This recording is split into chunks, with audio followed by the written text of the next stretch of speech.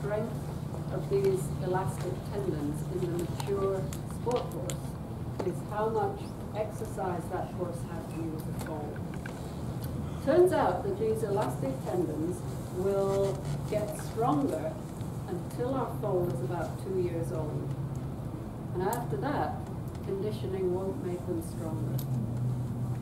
So if you're going out and buying a horse as a potential athlete, you better ask when it was a foal. Was it turned out as a foal?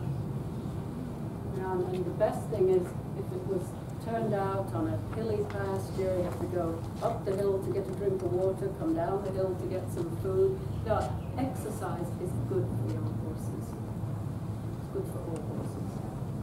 Um, but especially important for developing strength of these tendons.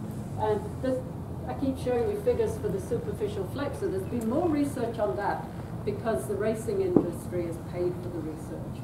But I think we can, you know, pretty much guess that the figures would be very similar for the suspensory ligament. So they looked at um, a group of foals that were reared on pasture and a group that were reared in stalls, so they didn't get natural exercise. And the superficial flexor tendon was 50% larger in the reared on pasture, and that's a huge difference. Now, if it's larger, it's stronger.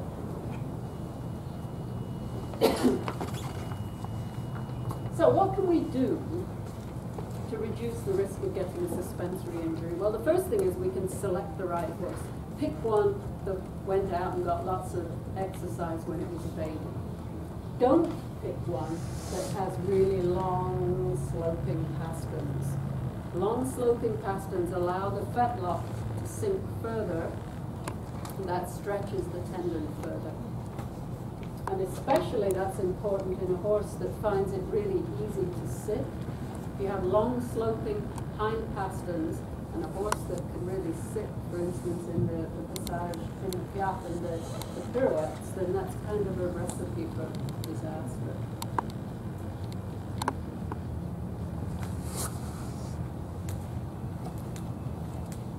Haven't told you yet the really bad news. Elastic tendons will accumulate damage as the animal gets older, even if we're very careful about um, giving them enough rest and recovery time. Because if we don't give them enough rest and recovery time, the, time, the damage is going to accumulate a lot faster. But in any animal and person, the elastic tendons do get weaker. So by the time a horse is 11 years old, these elastic tendons are about 40% weaker. So how do we manage that? Well, in your older horses particularly, it's really important to check their legs every day. And also, don't overwork the older horses. Right, when the horses are younger, that's the time to be getting fit, to condition them, to teach them the tricks, to train them. By the time they get to you know 11 or 12 years old, hopefully they're fairly well trained. Back off a little bit on the amount of work that they're doing. Don't go out there and, and drill and drill and drill. Interestingly, pull suspensories are very similar to ruptured Achilles tendons in people. Any of you have a parent who's had a ruptured Achilles? That's one or two. It's the same thing. The Achilles is one of these elastic tendons. So if you're, especially people who are quite active and athletic all through their life, they're building up damage in the Achilles tendon, and then you get to be like 40 years old, and suddenly it ruptures. Just the same thing as we get with the suspensory injuries in horses. And um, something else that's important for reducing the likelihood or preventing suspensory injuries is the way the horses are trimmed. That's what a horse's foot is meant to look like. If that looks really strange to you, then go away and think about it. A lot of dressage horses' feet look more like this one, with very high heels.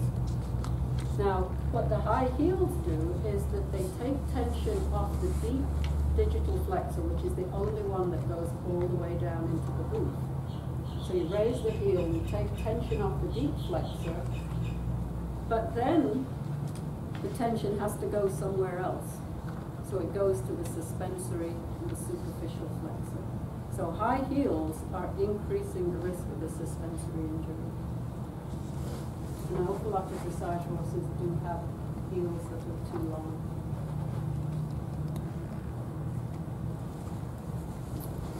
The other thing is deep surfaces. It said that the horses are going to get tired more quickly on a deep surface. Um, and when the muscles are fatigued, it puts more load again on the superficial flexor and the suspensor. And interestingly, the um, synthetic surfaces that we use now, they have more grip. They stop the foot more quickly. They don't allow it to slide when it makes contact. And I think that's potentially another factor um, in causing suspensory injuries. So maybe don't be practicing your extensions on the GGT surface. Go and find some grass or a sand arena you want to do a lot of extensions, that kind of thing. And one positive thing that I think you can do to help reduce the risk of injuries in your horses is to get some cold therapy on their legs after a hard workout. If you live in normal places, cold hosing is fine. It can be a while to get used to not having cold water come out of the hose here. Um, you can have them stand in ice, or you can use special ice boots, but I think that is a good technique to help to, to prevent future injuries.